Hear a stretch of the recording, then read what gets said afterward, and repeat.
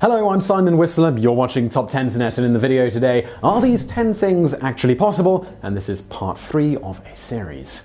One of the most extraordinary things about the internet is that the answer to virtually any question is at your fingertips. Knowledge is simply just one click away, and as the leading search engine in the world, sorry Bing, Google has a unique part to play in a user's ability to find answers. So, well, we took it upon ourselves to type is it possible into Google's search bar and let autocomplete do the rest in helping us discover some of the most commonly asked questions and hopefully answers on the interwebs. And, well, here's what we found.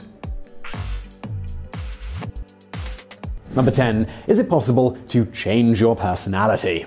Research suggests that your personality is formed in the earlier parts of your life, and once formed, it doesn't change. The personality that we demonstrate as adults evolves out of the temperament we had as toddlers and infants. That same personality can be reinforced as caretakers and other children react to the behavior, reinforcing and solidifying a personality. It is true that someone can have a marked change in personality if exposed to significant trauma or a life changing event. One of the most fascinating cases of this is the story of Phineas Gage. In 1848, 25 year old Phineas Gage worked as a railroad construction foreman in the United States. Gage was in charge of a crew of men who were working railroad construction in New England.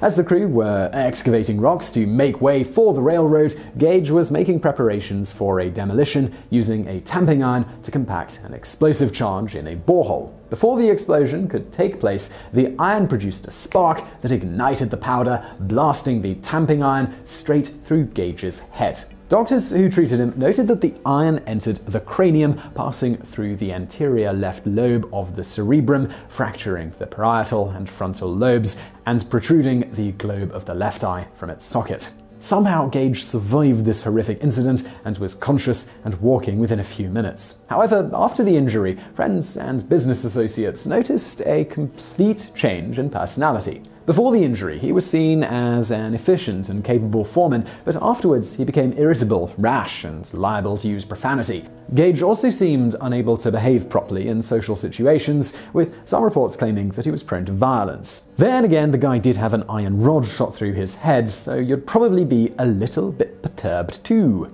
Number 9. Is it possible to die of a broken heart?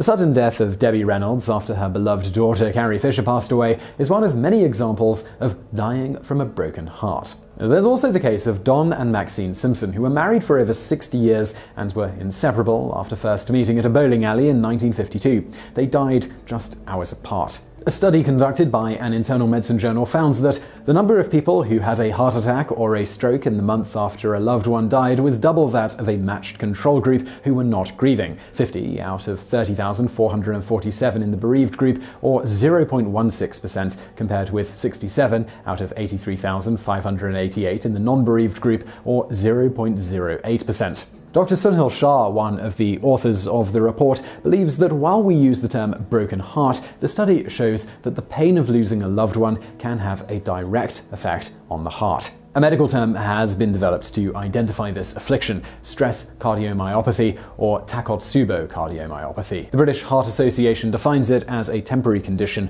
where one's heart becomes suddenly weak, with the left ventricle changing shape. Unlike a heart where the arteries are blocked, for those with a broken heart, their heart changes shape. For most, the heart will return to its previous shape, but for others, it has led to fatal heart attacks.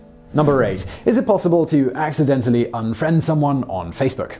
A question of the modern age, many people can surely relate to this question. You're probably thinking of sending a message or checking someone's page on Facebook when you can't find them. You check to see if you spelled their name correctly, then if you're on their friends list, and then your mutual friends list. Well, it turns out, if this is the case, they have unfriended you. But how could this have happened? Could it have happened by accident? Was it that thing you said about their mother? Didn't they know you were joking and in reality she's really quite a lovely lady with no discernible odor?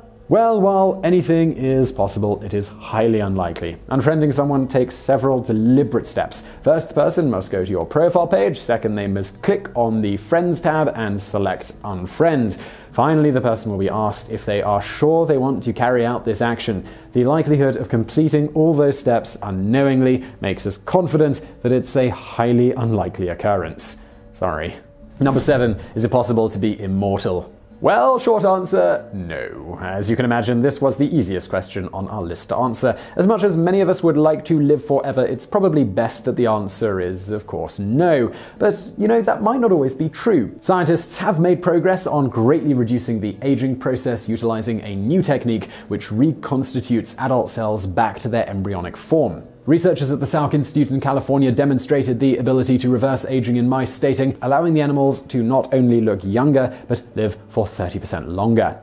According to scientists, the technique is based on stimulating four genes which are particularly active during development in the womb. Research has also shown its ability to stop the aging process on human skin cells in the lab, making them look and behave much younger. The innovations have led several in the scientific community to proclaim that immortality is on the horizon. Number six, is it possible to get shorter?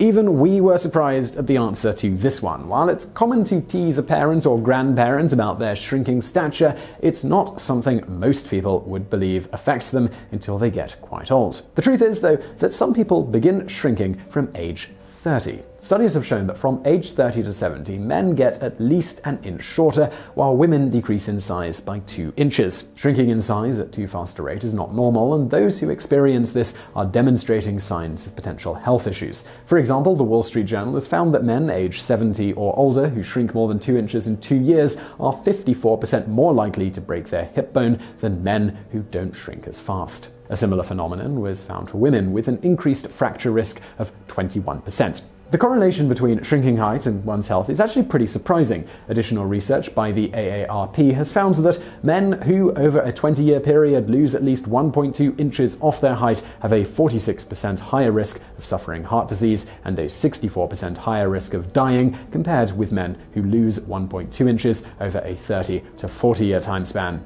Number 5. Is it possible to curve a bullet? A lot of questions are often inspired by the movies, like this one, for example. In the action flick Wanted, Angelina Jolie's character swings her arms, curving bullets to kill men lined up in a circle. The debate of curving bullets, though, it didn't originate in this film, and it didn't die with it either. The possibility of curving bullets with one's arms has continued to garner interest, with a Mythbusters episode dedicated to answering the very question. The Mythbusters found what Sir Isaac Newton realized centuries ago, and that's that every body remains in a state of rest or uniform motion in a straight line unless acted upon by an external unbalanced force. The only chance for a curve in a bullet is over a long distance or if there is enough external force on the bullet. Either way, swinging one's arms is not going to miraculously lead to a curved bullet. Number 4. Is it possible to live on Mars? The film The Martian has inspired many people to wonder about the possibilities of life on Mars. The truth is that it's an extremely difficult proposition. Just a simulated voyage to Mars was enough to drive some would be travelers to the point of insanity. Oh, and then there's the matter of the planet, which is certainly no less forgiving. Mars's atmosphere is mostly carbon dioxide, and the surface of the planet is too cold to sustain human life. So, not exactly the best place to raise a family. Successfully landing on Mars would be a feat in itself, as scientists have struggled to formulate a game plan for how humans could survive a landing on the red planet. Assuming a proper landing strategy is developed, living on Mars could only only occur if sophisticated pressurized inflatable shelters were deployed and covered with Martian soil to beef up radiation shielding. Only under such a scenario could people remove their spacesuits and breathe the air. There's also another major difficulty which was addressed in The Martian, and that would be food supply. Martian soil is toxic, making a prolonged study on the planet dependent on a decontamination process. A possible solution for food cultivation is to supplement the soil and remove its harshest chemicals, but it would take minds much smarter than ours to devise such a plan. But apparently, NASA is pretty good at hydroponics, and that could make Mars's first voyages up to the task. Number three, is it possible to die from stress?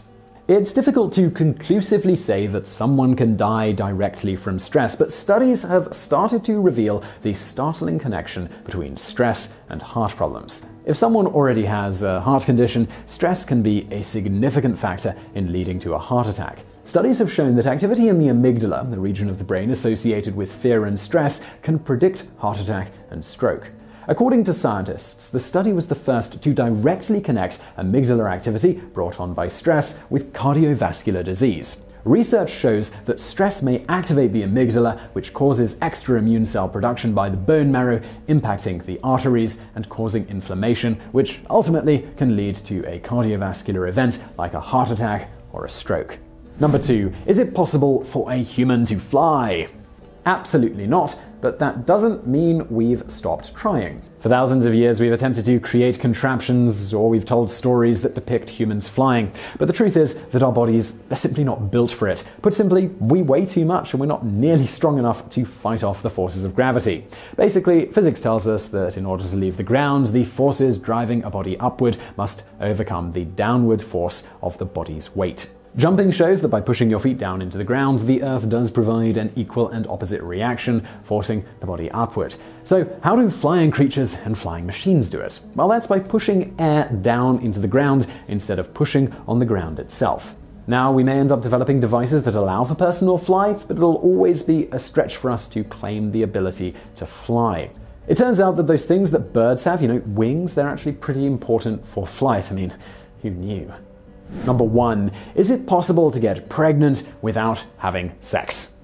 Well, yes, it is possible, but it's really, really unlikely. Unless you're the Virgin Mary, the only way to get pregnant is if the semen from your partner travels up the vaginal canal through the cervix and into the uterus, where it will try to fertilize an egg. Because of how resilient sperm is, it is possible that during various forms of foreplay, if the male ejaculates close enough to the vulva, the sperm can travel into the vagina. Sperm can actually even survive for several minutes after being exposed to the air, giving it time to make its way into the vagina. Other possibilities include if your partner has pre ejaculate or semen on his fingers and touches areas around your vagina. While it may seem unrealistic and unlikely to become pregnant without ejaculation during actual, you know, intercourse, don't underestimate the evolutionary instincts of sperm. So I really hope you found that video interesting and don't forget we do brand new videos just like this one every day of the week and you can get notified about that by clicking the subscribe button below or on the screen now, plus some videos from the archives over there on the right. And as always, thank you for watching.